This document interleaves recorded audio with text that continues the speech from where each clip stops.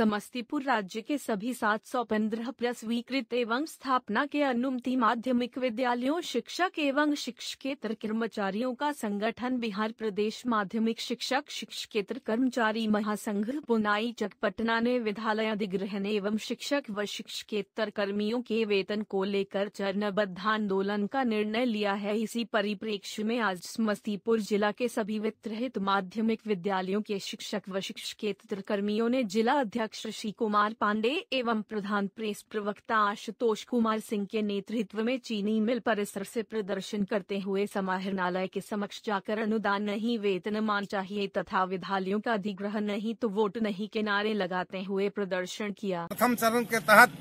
हम लोगों ने पाँच जनवरी को अपने विद्यालय एवं विद्यालय पोषक क्षेत्र तथा अपने घरों पर वेतन नहीं तो वोट नहीं का बैनर लगाया है। दूसरा चरण के तहत बिहार के 38 जिला मुख्यालयों पर आज डीएम को स्मार पत्र देने का हमारा कार्यक्रम है, जिसमें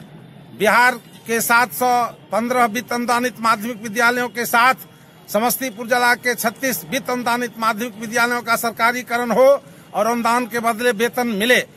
और 22 जनवरी को प्रमंडल मुख्यालय पर हमारा कार्यक्रम है। कमिश्नर को हम लोग स्मार पत्र देंगे। एवं 30 जनवरी को पटना में गर्दनी बाग में हमारा बिहार के 715 वित्त अनुदानित माध्यमिक विद्यालयों का बिहार सरकार के समक्ष कार्यक्रम रखा गया है। यदि 30 जनवरी तक सरकार बिहार के वित्त अनुदानित माध्यमिक विद्यालयों का सरकारीकरण करती है, अनुदान के बदलन बदले वेतन देने का ऐलान करती है तो बहुत अच्छी बात है। यदि ऐसा नहीं करती है तो फरवरी से हम लोग आंदोलन को